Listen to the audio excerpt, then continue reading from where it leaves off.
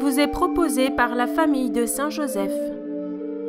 Les moines et moniales de Saint-Joseph vous invitent à partager leur méditation et leur amour de la parole de Dieu en écoutant l'homélie proposée par le frère Dominique Joseph. L'évangile de Jésus-Christ est la bonne nouvelle du salut pour les hommes. Il est l'évangile de la vie. Frères et sœurs, le Seigneur nous dit, vous êtes le sel de la terre, vous êtes la lumière du monde. Prenons d'abord leur point commun. Le sel et la lumière ont cette vertu particulière que d'être d'une très grande humilité, humble au sens franciscain, c'est-à-dire d'une banalité telle qu'elle est intégrée à notre quotidien.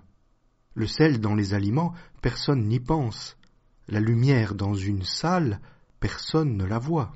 C'est quand la soupe manque de sel qu'on s'étonne de son absence, mais quand il est là et en bonne quantité, on n'y pense pas.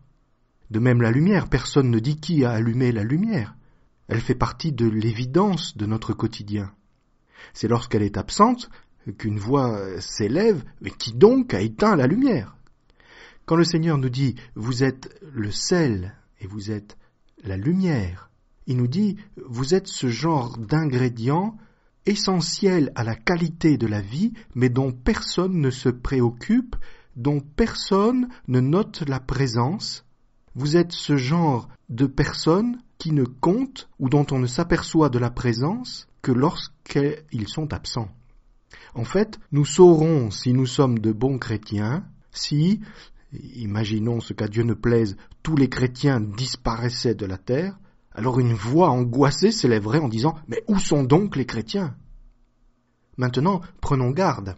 Il y a le sel et il y a la lumière. N'allons pas déduire de la banalité de ces éléments, de leur humilité, que le Seigneur nous invite à un enfouissement tel que personne ne pourrait connaître les chrétiens. Le sel fait partie du plat, il est intégré dans le plat, il souligne les saveurs du plat, mais il ne fait partie d'aucun des aliments. Ainsi le Seigneur dit de nous dans l'évangile de Saint Jean que nous sommes dans le monde, mais que nous n'appartenons pas au monde. Notre intégration ne peut pas être une confusion. Nous ne serons jamais à notre place dans le monde, car nous ne sommes pas du monde, mais du Christ. Et, la lumière nous dit et c'est le Seigneur qui développe cette image, elle doit être placée sur le lampadaire, en hauteur, bien visible. La capacité de cette lumière sur le lampadaire est de servir de repère et d'écarter les ténèbres, d'assurer une certaine sécurité. Il ne s'agit donc pas d'un enfouissement tel que personne ne sache jamais que des chrétiens sont là. Et il ne faudrait pas non plus s'enorgueillir en disant Je suis la lumière nous participons de la lumière. Car si nous sommes le sel et la lumière, la vraie lumière, c'est le Christ. La seule lumière, c'est le Christ. Il faut donc en déduire que le seul sel, c'est le Christ. Et c'est à ce stade de la méditation que nous prenons conscience à quel point ces paroles de Jésus sont intégrées au discours des béatitudes, au sermon sur la montagne que nous avons proclamé la semaine dernière. Il faut être bien pauvre en esprit pour n'être plus rien d'autre que du sel. Il faut être bien pur de cœur pour n'être plus rien d'autre que la lumière. C'est-à-dire que l'éclat que nous produisons en tant que lumière ne vient pas de nous. Nous ne sommes lumière que dans la mesure où nous sommes incorporés à la lumière, à la vraie lumière, à la seule lumière, et nous perdrions tout éclat en nous séparant de lui et nous ne sommes sel qu'incorporés au sel qu'est le Christ. Nous perdrions notre teneur car nous la tenons de lui.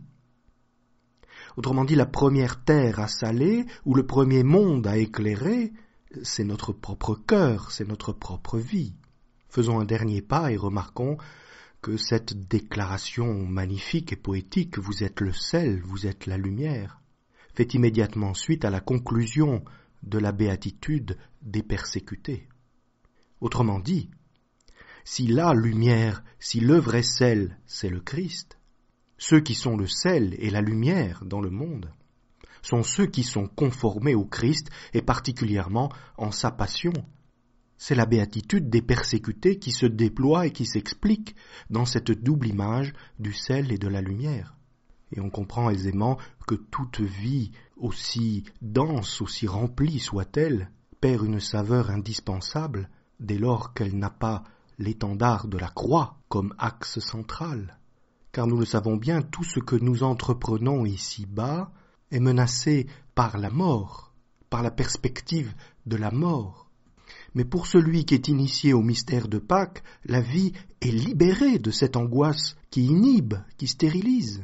Celui qui a fait sienne la sagesse de la croix peut être le sel de la terre, c'est-à-dire le témoin de l'espérance pascale au cœur d'un monde qui occulte la mort précisément parce que lui rappelle le caractère éphémère de la vie.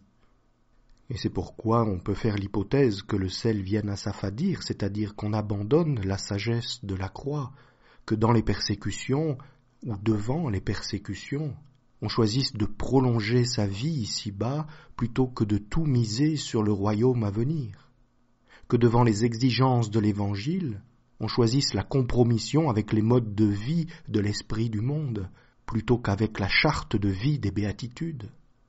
Alors, un disciple qui ferait ce choix perdrait sa saveur, c'est-à-dire ne servirait plus à rien. C'est sans doute la pire des choses qui puissent arriver. Le sel affadi, c'est le chrétien attiédi. Seigneur Jésus, donne-nous la force d'âme de rester attaché à toi. Garde-nous avec toi sur la montagne où tu as donné ce magnifique sermon des béatitudes, afin que de là-haut nous contribuions à éclairer le monde. Seigneur Jésus, donne-nous de descendre en terre comme toi, comme la croix plantée à même la terre, afin que par nos vies nous puissions témoigner de la sagesse de la croix, afin qu'en toute chose nous puissions annoncer que tu es la lumière du monde.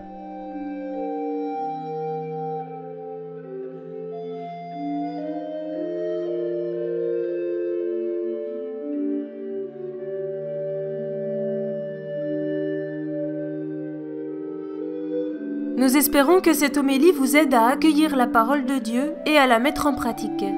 Vous pouvez confier vos intentions de messe aux frères prêtres de la famille de Saint-Joseph. Si cette homélie vous a touché, merci de la partager sur les réseaux sociaux et de vous abonner à notre chaîne. Bonne semaine